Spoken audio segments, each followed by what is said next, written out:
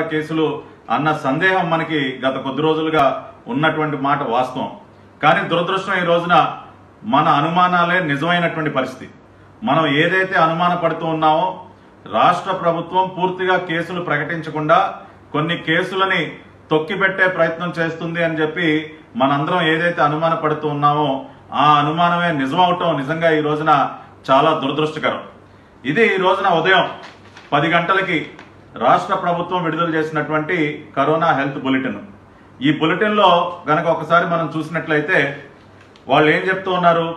పదిహేను ఐదు రెండు వేల ఇరవై పది గంటలకు ఉదయం పది గంటలకి మీడియా బులెటిన్ నంబర్ నూట యాభై ఐదులో వాళ్ళు ఏం చెప్తున్నారంటే గతంలో గత ఇరవై నాలుగు గంటల్లో జరిగిన కోవిడ్ నైన్టీన్ పరీక్షల్లో యాభై ఏడు కేసులు పాజిటివ్గా నమోదయ్యాయి. రాష్ట్రంలో నమోదైనటువంటి మొత్తం కేసులు రెండు వేల నూట యాభై ఏడు కేసులు అని చెప్పి ఈ రోజు ఉదయం పది గంటలకి రాష్ట్ర ప్రభుత్వం విడుదల చేసినటువంటి బులెటిన్ నెంబర్ నూట యాభై ఐదులో ప్రకటించడం జరిగింది. అంటే నిన్న రెండు వేల ఒక వంద కేసులు నమోదయ్యాయని చెప్పి ప్రకటించడానికి ఈ రోజున రెండు వేల నూట యాభై ఏడు అంటే యాభై ఏడు కేసులు నిన్నటికి ఈ రోజుకి అదనంగా పెరిగాయని చెప్పి రాష్ట్ర ప్రభుత్వం తన బులెటిన్ ద్వారా ప్రకటించింది. ఈ బులెటిన్ ఈ విధంగా ఉంటే రెండో పక్కన మనం చూసినట్లయితే ఇది కేంద్ర ప్రభుత్వం ఈరోజు ఉదయం ఎనిమిది గంటలకి విడుదల చేసినటువంటి బులెటిన్. ఫిఫ్టీన్త్ మే ఎయిట్ ఏఎంకి విడుదల చేసినటువంటి బులెటిన్ ఇది.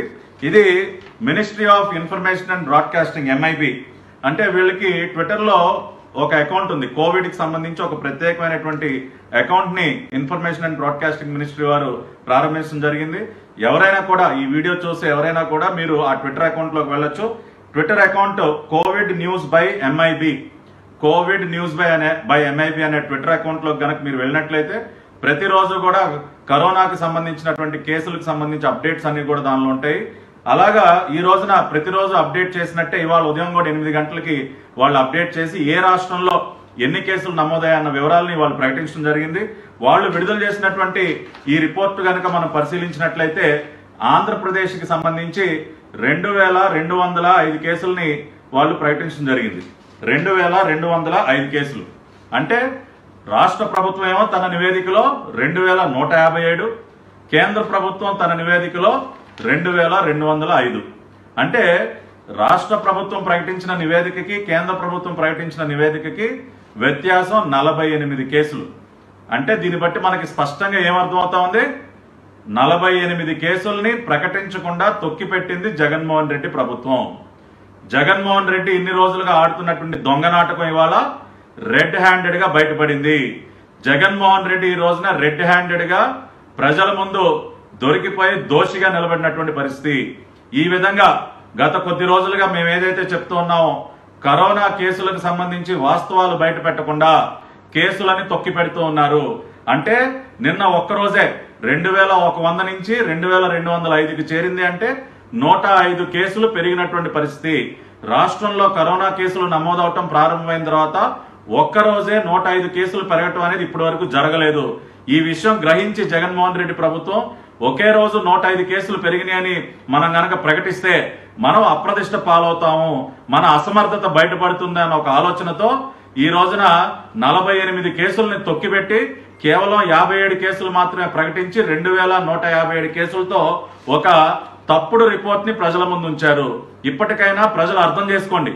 ఈ ప్రభుత్వం ఏ విధంగా వ్యవహరిస్తూ ఉంది సమాచారాన్ని ఏ విధంగా తొక్కి పెడుతోంది ఏ విధంగా కరోనాకు సంబంధించి వాస్తవాల్ని దాచిపెడుతోందో రాష్ట్ర ప్రజలు ఇప్పుడైనా అర్థం చేసుకోవాలి. ఈ రోజున ఆధారాలతో సహా మేము రాష్ట్ర ప్రజల ముందు ఉంచుతున్నాం. దీనికి జగన్మోహన్ రెడ్డి ప్రభుత్వం సమాధానం చెప్పాలి. Health health secretary special chief secretary health. Jawahar Reddy garu సమాధానం చెప్పాలి. ప్రతిరోజు ప్రెస్ మీట్లు పెట్టి ఓదలు కొడుతూ ఉంటారు కదా. అంత బ్రహ్మాండంగా చేసాం ఇంత బ్రహ్మాండంగా చేసాం అని చెప్పి. జవహర్ రెడ్డి గారు ఏం సమాధానం చెప్తారు? వైద్య శాఖ మంత్రి ఉప ముఖ్యమంత్రి ఆళ్ళ నాని గారు ఏం సమాధానం చెప్తారు? రాష్ట్ర ముఖ్యమంత్రి జగన్మోహన్ రెడ్డి గారు ఏం సమాధానం చెప్తారో ఇవాళ మేమందరం కూడా వేచి చూస్తాం. కావాలంటే జగన్మోహన్ రెడ్డి గారు రెండు మూడు రిహార్సల్స్ చేసుకుని ప్రెస్ మీట్కి రెండు మూడు రిహార్సల్ చేసుకుని రికార్డింగ్ చేసుకుని అయినా ఆ వీడియోనైనా రిలీజ్ చేయొచ్చు. మీరు లైవ్లో మీకు మాట్లాడటం చేత కాదు కాబట్టి మీరు రికార్డింగ్ చేసుకునైనా ఈ ప్రశ్నకి సమాధానం చెప్పాలని నేను జగన్మోహన్ రెడ్డి గారిని కోరుతున్నాను అదేవిధంగా జగన్మోహన్ రెడ్డి గారి భజన బృందానికి కూడా నేను ఒక చిన్న సూచన చేస్తున్నాను మీరు వచ్చిరాని నవ్వుతో కామెడీ వీడియోలు విడుదల చేసి ప్రజల సమయాన్ని వృధా